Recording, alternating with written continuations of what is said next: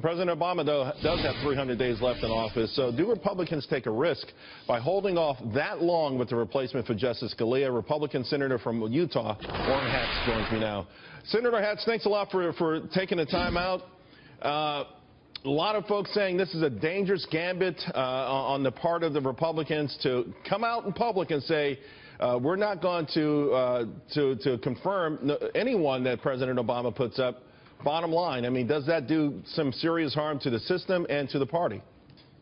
Well, it's nice to be with you, Charles, but the fact of the matter is I think everybody in this country knows that this is a crucial uh, period of time and this is a crucial nominee or nominations process. And I think uh, uh, Senator McConnell was right in saying that we're in the midst of one of the most controversial presidential elections in history, and it would be uh, just awful to, to bring up a, a, nominee that might be rejected by one side or the other uh, in this process. And I have to say that uh, I agree with him. I think that, you know, this hasn't been done before. The last time it was done uh, was, I think, in 1916 when Charles Evans Hughes decided, I'm talking about a nominee during a presidential uh, election year, uh, Charles Evans Hughes was the Chief Justice, and he left the court uh, to run for president.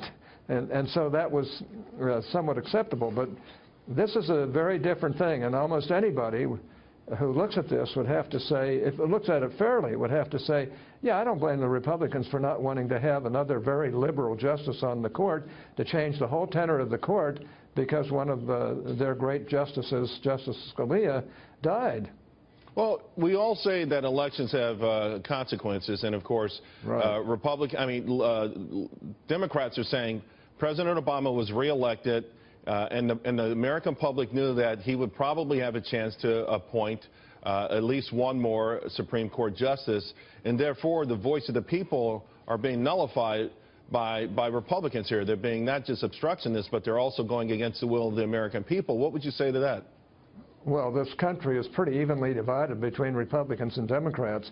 So why should, in an election year of this consequence, where there's all kinds of fighting between both parties, why should we put up with a Supreme Court nomination process just because this president wants to do it? When it hasn't been done before, and the reason it hasn't been done before is they know that it, the whole process is tainted because of the uh, the politics involved. So, you know, if I was the president, I would I would acknowledge that and hope that uh, he can get another Democrat president to uh, make the nomination uh, next year. But you know, they're not going to do that. He will submit a nominee. He has a right to do that, by the way. I'd be the first to champion his right to do that. But the Senate also has a right to either confirm or not confirm, or even hold hearings on it. And and uh, and I suspect, uh, to be honest with you, that Senator McConnell was right to diffuse this issue and say this should not happen in this very intense election year, presidential election year, especially with uh, what's happened in the past. And uh, and, and we're not going to do it. I, I, think that's his attitude, and I think he's probably right. So, Senator Hatch, uh, what kind of public, uh, you know, of course, there's always different public relations angles, but uh, if President Obama came through with a nominee within the next 30 days and the Senate held off no matter what, including what uh, our previous guest called the interrogation of a lifetime, what could the public fallout be from that? Because people say, hey, you know what, a president is elected for a four-year term, and essentially what the GOP is doing is limiting President Obama to a three-year term. Well, I can't think of a Republican who would want another very liberal uh, justice on the court changing the whole tenor sure. of the court.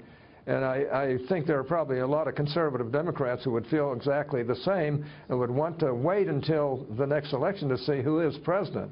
But, you know, the president has a right to submit a nomination, and and uh, we have a right to say no. And, and I think uh, under the circumstances, I think Senator McConnell is 100% right.